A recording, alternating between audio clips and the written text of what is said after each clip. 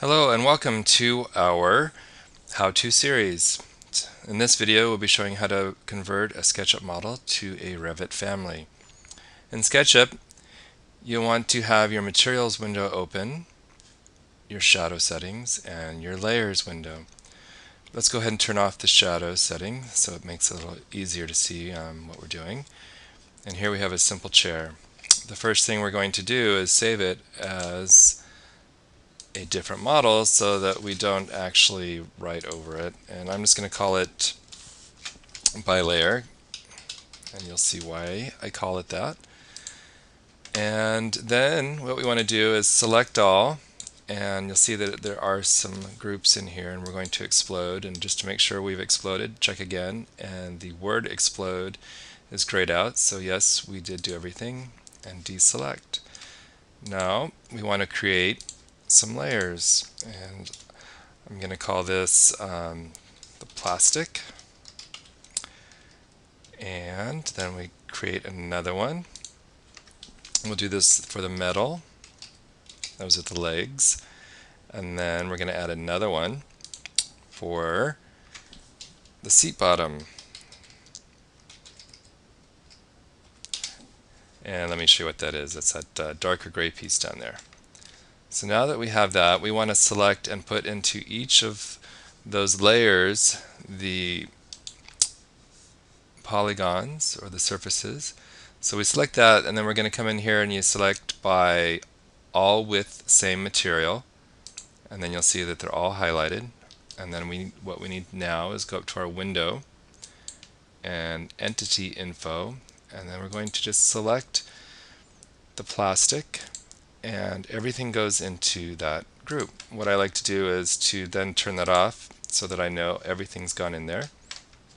Now I'll pick something of the metal material and select all with the same material and then we go up to our entity info and we'll do the metal.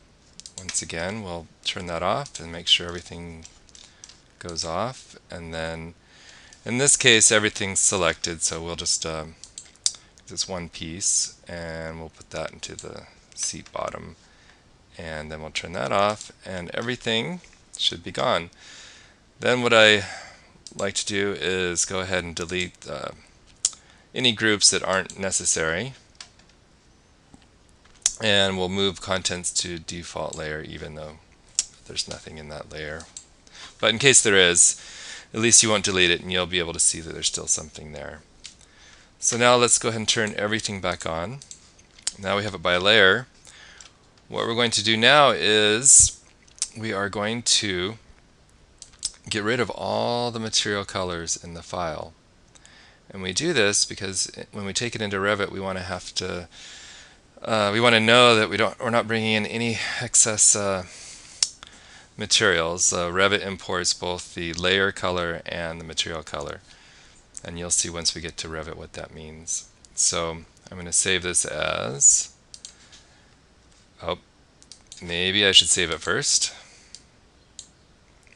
and then save as, and now I will say no material. Now you come up to your materials box and just right click on that and say delete and yes I want to get rid of that delete yes, delete, yes. And now you'll see that we have a chair with the default materials and you want to make sure that we have this kind of a greenish yellow default color and you don't have the blue color. Now if I go in here and select one and reverse the face, it's going to turn blue and you don't want to see anything that has that blue on it. You want it all to be the uh, this other greenish yellow color. So once we have that, let's go ahead and save. And now we're ready to export. So we do that by going to export, click on 3D model, and it's fine. You can call it whatever you want. Um, we could make it simple. And you go into your options, and you want only faces turned on. You don't want any of these others. If you have edges turned on, when uh, you go into the Revit, you're going to have these big black thick edges even when you have it in shaded only mode. So you want faces only. we'll hit OK and we'll export it. And it says OK. So now we're going to go on over to Revit now. Okay, so now we're in Revit and we want to uh, start with a new family. So we come down here to Families, hit New, Scroll down to find furniture. This is not a system furniture, just furniture. Open that up and you'll get the um, default right view. And then it pops you up to, here we go. And um, so let's go to the uh, 3D view. And then to bring in the model, you go over and click up here on the insert import CAD and let's find the model.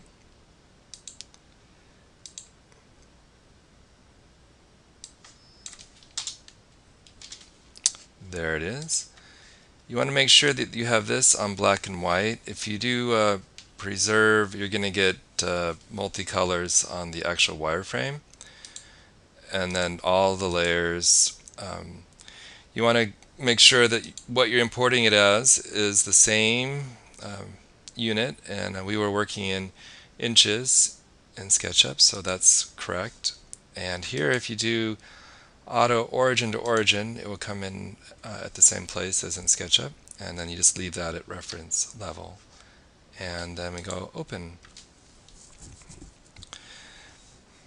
and let's go find it there it is so right now we have our wireframe Something I like to do is just check to make sure that it looks like it's to scale, and it seems to be, um, that I didn't make any mistake on that. And uh, let's go back to the 3D view. So right now, if we turn on shading, you're going to see that it has odd colors, and that's just because it's bringing in the, uh, the layer colors of SketchUp.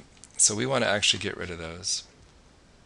And um, how we do that is that uh, we'll go over to manage.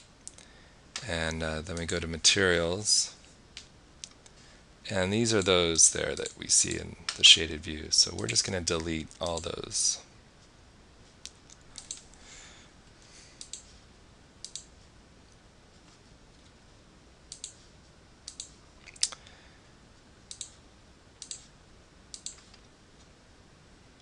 okay so now we want to create the new ones. So how we can do that is just uh, copy, and that's right here. And let's just give them the same names. I think we said plastic. You could do it by um, color or however you, you would like to do that. And uh, we'll click on, probably saw that, use render appearance for shading so that we know that we're getting the right color. And here, we're going to do the RGB so it more or less looks like the SketchUp model. And uh, but what was that color? So let's go back to our SketchUp model. And let's get the previous one. Let's save that. And then by layer. And let's go ahead and click on that. And then click on edit. And that's just 25500 those are the RGB values. And then let's go back to the Revit. And we'll click on this button here and go 25500 now we need to make one for the metal. And let's copy that. And we'll call it metal. And then we need to know what it is. And we can click on that, select the light color, edit, and that's uh, RGB values. that's going to be 202 all three times. So let's go down to our here we click on this and then we go, oh, what was that, 202? It's close enough. And then we need to do one more. So here we have that seat bottom.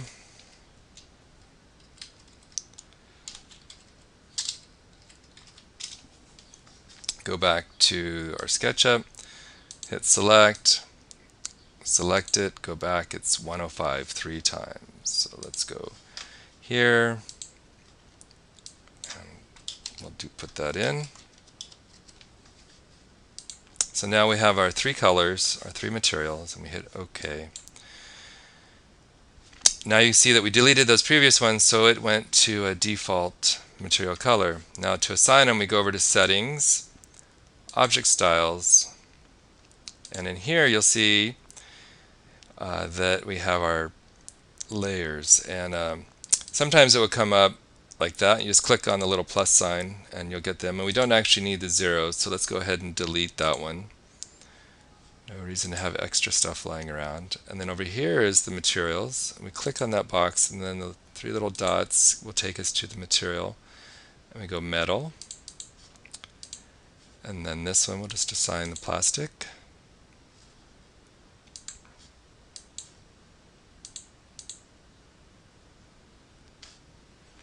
And the seat bottom. And we'll hit OK. And there we have our three materials, and that's our chair. So at this point, you want to save it out or even take it into a little test project to make sure everything renders well and works for you. Hope this has been helpful.